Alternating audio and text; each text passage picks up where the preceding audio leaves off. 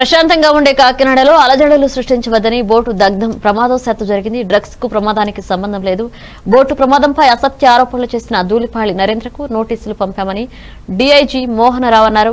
బోట్లో డ్రగ్స్ ఉన్నట్లు ఒక వ్యక్తి చనిపోయినట్లు సాక్ష్యాలు వారంలోగా చూపించమని నోటీసు ద్వారా కోరాం.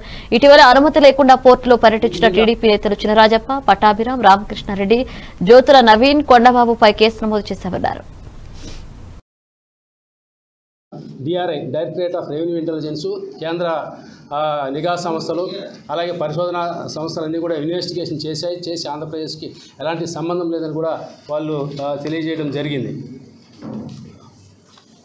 అలాగే మనము ఈ రెండు సంవత్సరాల నుంచి కాలం నుంచి కూడాను గంజాయి మీద ఎన్నో కేసులు. దాదాపుగా పాత రికార్డు మనం ఇప్పుడు టాలీ చేసుకున్నట్లయితే డేటా ప్రకారంగా కూడా ఐదు రెట్లు ఎక్కువ కేసులు పట్టడం జరిగింది. అలాగే చెక్ పోస్టులు పెట్టడం జరిగింది.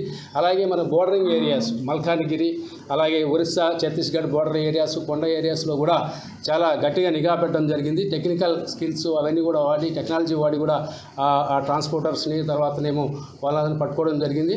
అలాగే మనము ముందు ఈ గంజాయి మొక్కలు ఎక్కడన్నా పెరుగుతున్నాయా? అవన్నీ కూడా ముందుగానే డ్రోన్ కెమెరాస్తో విజువల్స్ తీసుకొని క్రాప్ కాప్ డిస్ట్రక్షన్ కూడా చేయడం జరుగుతుంది.